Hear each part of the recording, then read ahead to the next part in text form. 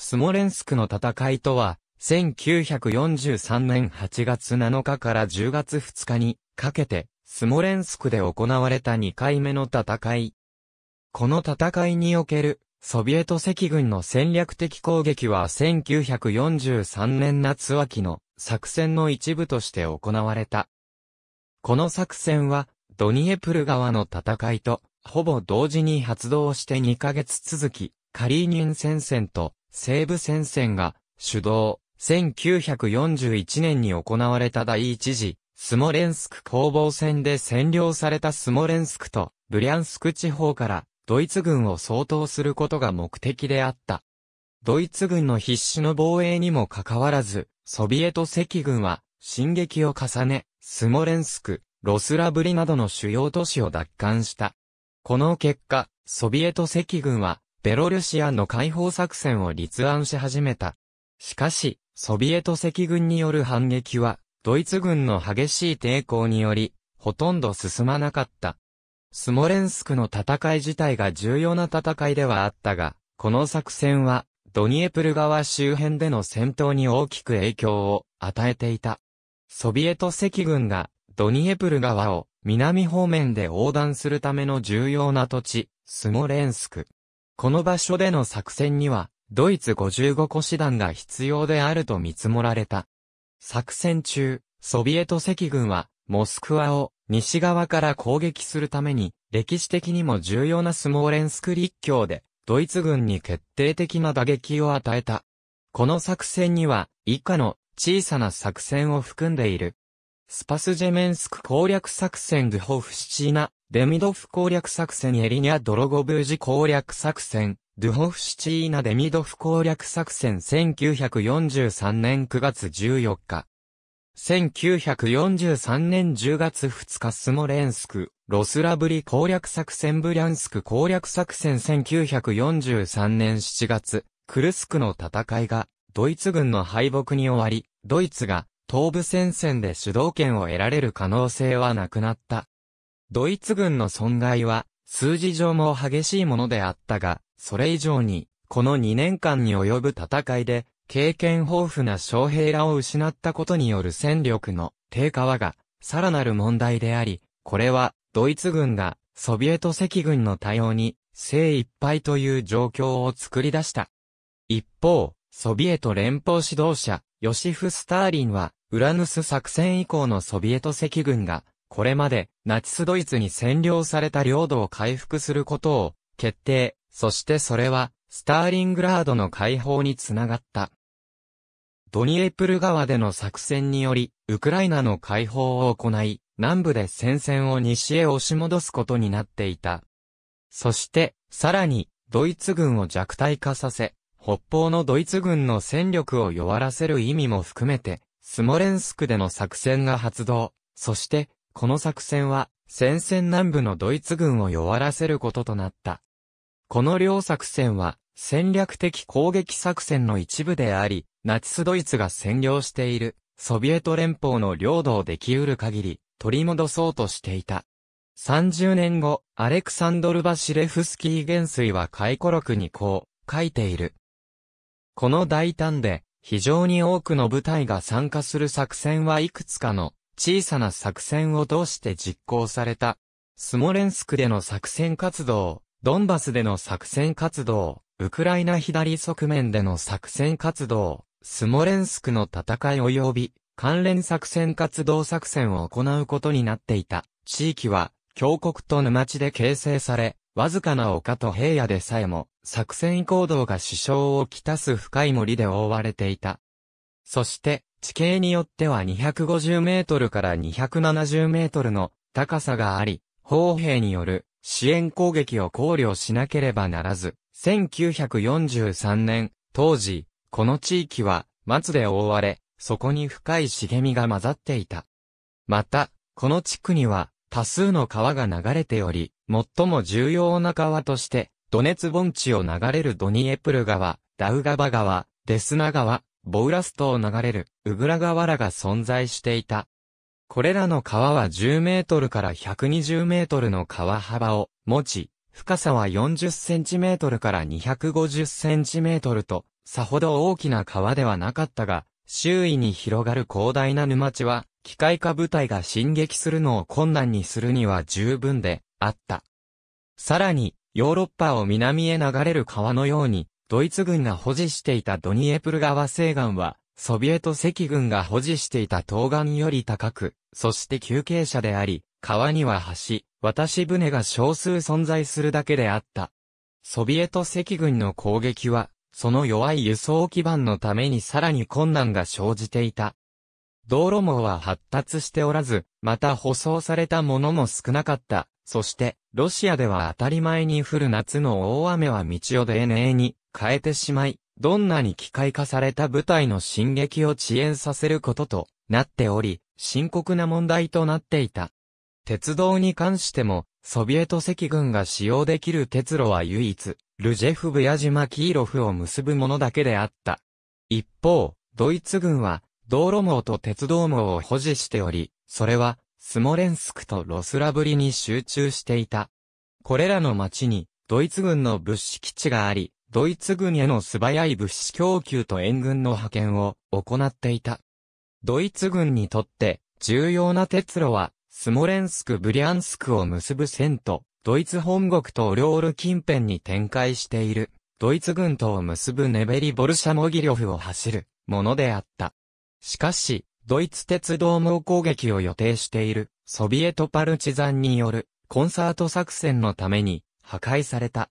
スモレンスクにおける、ソビエト赤軍の攻撃1943年7月当時、東部戦線における、ソビエト赤軍の最前線ではオリオールに集中する、久保形であり、さらにオリオールで小さな久保形を形成していた。そして、それにより、北側面から、ドイツ軍防衛線を攻撃するのに都合よく、存在していた。そのため、攻撃の主力となる、カリーニン在住のソビエト赤軍西部戦線にとっては、難しいものとなる可能性があった。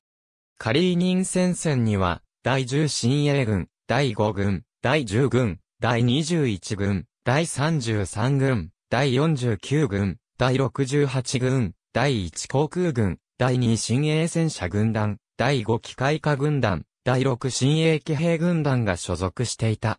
西部戦線には、第4突撃軍、第39軍、第43軍、第3航空軍、第31軍が所属していた。中央軍集団所属師団はこの地区での攻撃の可能性のために集中配置されていた。例として1943年7月末、ドイツ軍の状況説明にはこう記されている。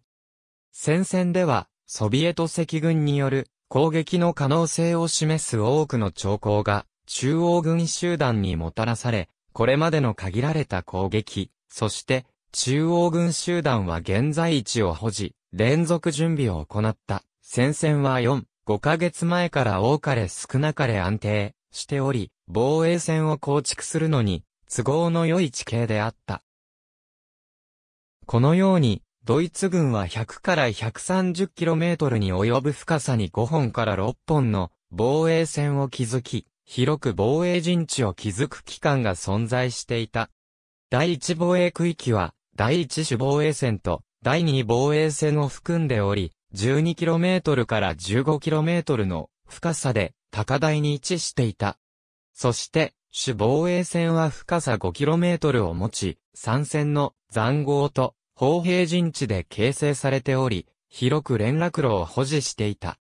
下方は 1km あたり、6、7門を保持しており、一部、ソビエト重戦車の突破が懸念された箇所の西部では、最深部の残壕に、砲兵陣地、機関銃座を形成、対戦車号も築いていた。また、前線全部には、有刺鉄線と地雷原を参戦築いていた。第二防衛陣地は、残壕と砲陣地が一組となって形成されていた。そこには、有刺鉄線が張り順され、重戦車の突破が予想される地点では、地雷原が用意されていた。さらに、第二防衛陣地と外部との間には、万が一、ソビエト赤軍が突破しても、その進撃を遅らせるための加点と部隊の配置が行われ、銃砲が陣地の後方に配置されていた。最後に、最後型の防衛陣地は、川の西岸に3本から4本の防衛線が築かれており、例として、重要な防衛線は、ドニエプル川西岸とデスナ川で構築されていた。その上、防衛線に位置する町は、防衛を強化し、潜在的な長期戦の準備を行っていた。さらには、道路には、地雷が敷設され、対戦車用の設備で覆われており、加点は、背の高い建物に設置された。戦いの間における、スモレンスクの部隊配置状況1日の偵察を行った後、ソビエト赤軍は午前4時40分より、準備爆撃を開始。1943年8月7日午前6時半より、攻撃を開始。ソビエト西部戦線所属の第5軍、第10新鋭軍、第33軍の3個軍が攻撃を担当した。しかし、ドイツ軍は、各防衛地区から、戦車、突撃砲、銃砲、迫撃砲の支援を受けて、多数の猛反撃を行ったため、その進撃は進まなかった。コンスタンチン・ロコソフスキーは、我々は順番に、ドイツ軍の防衛線を進撃し、文字通り、身が避けるようであったと解雇する。初日、ソビエト赤軍は利用できる、あらゆる部隊を戦いに用いたが、わずか 4km 進んだに過ぎなかった。激しいソビエト赤軍の攻撃にもかかわらず、三個軍がドイツ軍の防衛線を突破することが不可能であることが明らかになったため、予備戦力である第68軍の投入が決定した。一方、ドイツ軍は、この防衛に3個師団がソビエト赤軍の攻撃を止めるため、オリョールから戦線へ送られた。翌日、北方での攻撃と同時に、ヤルツェボ方面への攻撃を再開したが、両方の攻撃は、ドイツ軍の反撃で停止。しかし、翌日から5日間、ソビエト赤軍は、ドイツ軍の猛反撃を撃退、多大な損失を負ったが、徐々に進撃し始めた。ソビエト赤軍は、予備戦力を投入しながら、8月11日までには 15km から 25km 進撃することができた。しかし、第6新鋭騎馬軍団の装甲部隊と騎兵部隊は度重なる攻撃を行ったが、ドイツ軍の強力な反撃のために多大な損害を負い、手詰まりに至っていた。スパスジェメンスクでのソビエト赤軍による攻撃は、第10軍が担当したが、ドイツ軍の反撃は北方ほど激しいものではなかった。この地域において配備されていたドイツ軍は少数であり、限られた予備戦力が存在するのみであった。そして、ソビエト第10軍はドイツ防衛線を突破、2日で 10km 進撃した。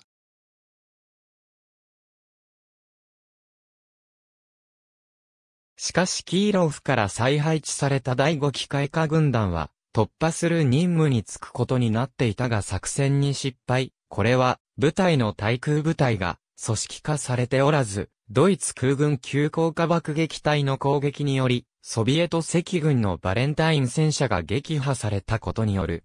そのため、第5機械化軍団は多大な損害を受け、戦場を離脱せざるを得なくなったが、結局、ソビエト赤軍は8月13日までに 25km 進撃、スパスジェメンスクを奪回した。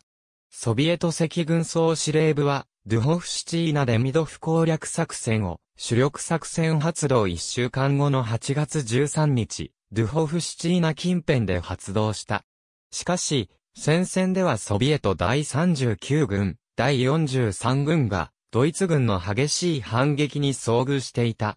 作戦初日、ドイツ軍は、戦車、突撃砲、空軍の支援のもと、24個連隊規模で反撃を開始していた。翌日より5日間、ソビエト赤軍はわずかに6から 7km、進撃したに過ぎず、多大な損害を受けていたが、ドイツ軍にも多大な損害を与えていた。8月中旬までには、スモレンスク全面において、ソビエト赤軍の攻撃は停止していた。敗北の結果、手詰まりとなったために、ソビエト軍の司令官たちは苦悩し、そのうちの何人かはその理由の説明を行った。赤軍砲兵部長兼副国防人民委員、ニコライ・ボロノフの下で作戦を指導した、参謀第一次長アレクセイ・アントーノフは回顧録で、振り返る。我々は、森と沼、そして、ブリャンスクから増援される、ドイツ師団の両方に対応しなければならなかったそして、彼は、攻撃が停止した8の問題を提起している。ドイツ国防軍最高司令部は作戦を事前に察知、対応策が取られていたこと。ドイツ国防軍は、残壕、有刺鉄線、地雷原で例外的に強化されていたこと。ソビエト赤軍の狙撃師団は攻撃準備が不十分であったこと。これは予備部隊の訓練が不十分であったことに起因する。ソビエト赤軍に十分な戦車が配属されていなかったこと。このためにドイツ軍防衛線を突破するのに使用できるのは、不評部隊、迫撃砲、支援砲撃に限られ、さらに、ドイツ軍の地雷原と激しい反撃は、不評部隊の進行を妨げた。連隊と師団の連携が不足していたこと。このため、攻撃中の思わぬ停止のために、一部の部隊が突出、ドイツ軍に撃退されることが発生した。ソビエト赤軍の戦力はドイツ軍を上回っていたが、赤軍部隊の各指揮官は、ドイツ軍の激しい反撃のために、戸惑うことがあった。ソビエト赤軍風評連隊は、所持していた武器を有効活用できず、砲兵部隊の支援砲撃に頼りすぎていたこと。攻撃開始が8月3日から7日まで延期されたこと。これにより、ドイツ軍は防衛体制を取る十分な時間が取れた。これらすべての要因を考慮して、ボロノフは第4戦車軍と第8砲兵軍団がブリャンスク戦線からスモレンスクへ移動、支援砲撃を行うことを要請した。ソビエト赤軍最高司令部が求めていたものは手詰まりによりほとんど得られなかったが、少なくとも一つは成功したことが存在した。それは、ソビエト赤軍の攻撃により、ドイツ軍の東部戦線における戦力の40%が、スモレンスクに集中。そのため、ソビエト赤軍が、南のクルスクで、作戦行動を行うことを容易にしていたことであった。ソビエト赤軍最高司令部は8月21日に攻撃を再開する予定であったが、戦力を補強する時間を取るために延期を決定した。8月中旬、ソビエト赤軍が攻撃を開始、ベルゴロド・ハリコフ攻略作戦、クルスクの戦いとして知られるオリョール攻略作戦から始まり、北ウクライナのドニエプル川下流の戦いにおけるドイツ軍の防衛戦と続いた。ソビエト赤軍による戦線全域における大攻勢が開始されたにもかかわらず、ドイツ軍最高司令部はオリョールの師団を引き抜いて、スモレンスク、ロスラブリ周辺の戦力を強化していた。その結果、クルスク防衛作戦に続いたソビエト赤軍による攻勢は、スモレンスク、ブリャンスクの南に大きな突出部を形成することになり、オリョールでの攻撃を容易にしていた。こうした状況により、南西のロスラブリ・ブリャンスク方面へのドイツ軍による攻撃は不可能となった。そのため、ソビエト赤軍最高司令部は攻撃の軸を西のエリニャ、スモレンスクへ移動させることを決定した。ソビエト赤軍によるエリニャ・ドロゴブージ攻略作戦は、スモレンスク攻略がその鍵となっており、デスナ川とウグラ川により形成された広大な湿地帯には、地雷原が設置され、さらに町を見下ろす小高い丘には重砲を配置するなど、ドイツ軍は戦力を集結して防衛線を構築していた。一方、ドイツ軍の変化に気づいたソビエト赤軍は8月20日から27日の間に戦車、訪問で補強を行った。ソビエト赤軍による攻撃は第10新鋭軍、第21軍、第33軍により8月28日開始され、3個、戦車、機械化軍団と第一航空軍が支援を行った。これらの軍は、戦線の 36km に集中して配置されていたが、わずかに1、2週間分の軍需品と燃料を保持しているに過ぎなかった。90分の激しい準備砲撃の後、ソビエト赤軍は攻撃を開始した。地上攻撃機と同様に準備砲撃は、ドイツ軍に損害を与えており、ソビエト赤軍は、戦線の 25km 幅で進撃を開始、その日の末には 6km から 8km 進行した。さらに、翌日の29日、ソビエト狙撃師団はさらに進撃、戦線を 30km 幅に 12km から 15km 浸透した。戦線をさらに押し戻すために、ソビエト赤軍は第二新鋭戦車軍団を投入、1日で 30km 進撃を行い、エリニャ周辺まで進出した。ドイツ国防軍は再編成する間もなく撃破され、ソビエト赤軍はこれを包囲し始めた。8月30日、ドイツ軍は多大な損害を負ったため、エリニャ放棄を決定した。そして、この地域から、ドイツ軍は全面的撤退を開始、そのため、ソビエト赤軍は9月3日までに、ドニエプル川東岸にまで達した。ブリャンスク近郊での戦いは、ドイツ軍の激しい抵抗にもかかわらず、主導権はソビエト赤軍が握っていた。しかし、すでに露見していた防衛線の弱点はすべて対策が取られており、ソビエト赤軍は作戦の変更を余儀なくされた。ブリャンスク北方のドゥブロフカのドイツ軍は戦闘の準備が整っておらず、そのため、ソビエト赤軍はこの重要な地域のいくつかの丘を簡単に占領、ブリャンスク戦線司令官マルキアン・ポポフ大将の知るところとなった。これは、ドイツ軍がソビエト赤軍の攻撃を予想していなかったことに起因した。そのため、第一白ロシア戦線と西部戦線は南部へ移動を行い、ドブロフカとブリャンスクでドイツ軍を両側から攻撃、ドイツ軍は撤退した。9月6日までに、ソビエト赤軍は、毎日わずかに 2km ほど進撃したに過ぎず、進撃は、戦線全面にわたって失速していた。ソビエト赤軍右側面のヤルツェボ近郊の森で、激しい戦いが始まり、中央部では、ドイツ軍のドニエプル防衛線へ攻撃を開始、そして、左側面は、エリニャ南西の森へ、ソビエト狙撃兵士団が入ったため、その攻撃は遅れた。さらに、ソビエト師団はすでに疲弊しており、定数の60%までに減少したため、9月7日、攻撃は停止、スモレンスク作戦の第2段階は終了した。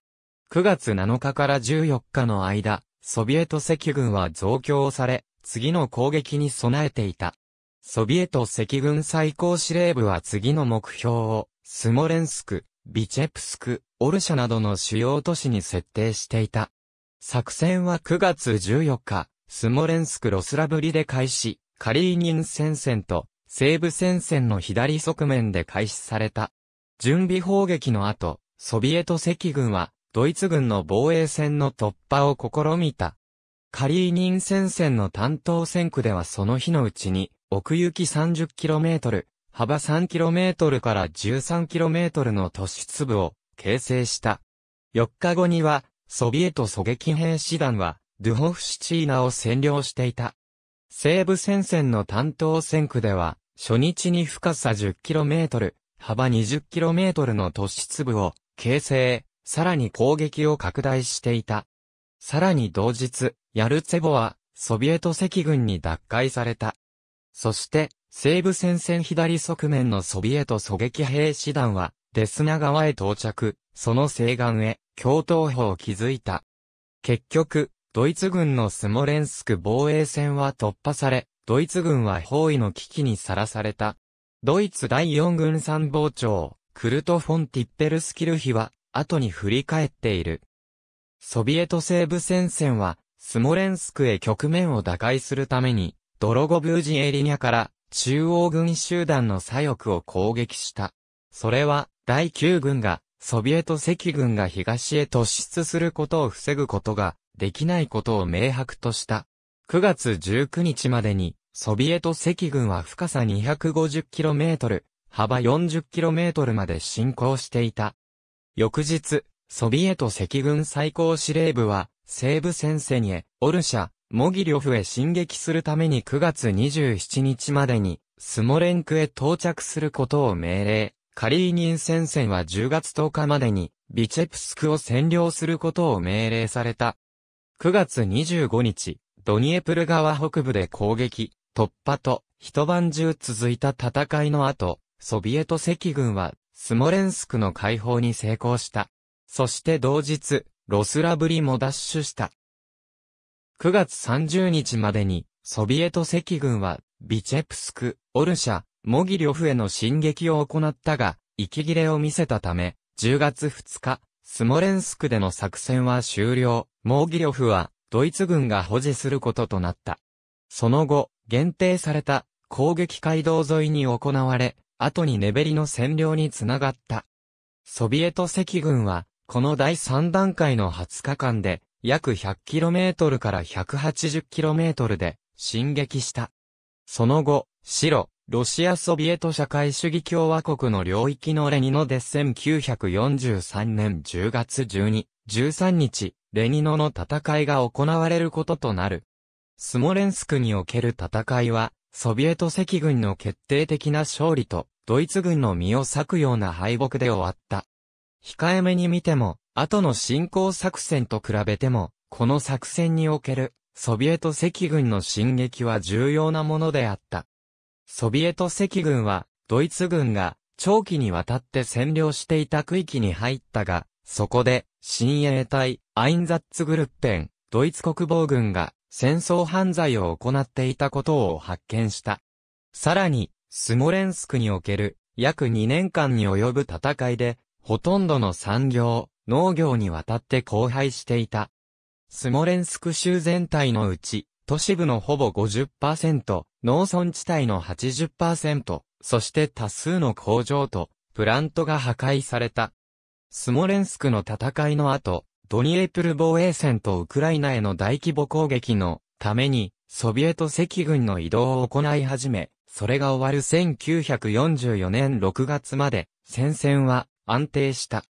1944年1月、状況が北部で変化、ドイツ軍はレニングラードで追い返され、約900日に及んだレニングラード包囲戦は終わりを告げた。1944年夏、ソビエト赤軍はバグラチオン作戦を発動、ソ連領域内のドイツ軍を押し戻すことに成功、そしてポーランド、ドイツ本国へと戦線は移動することになる。ありがとうございます。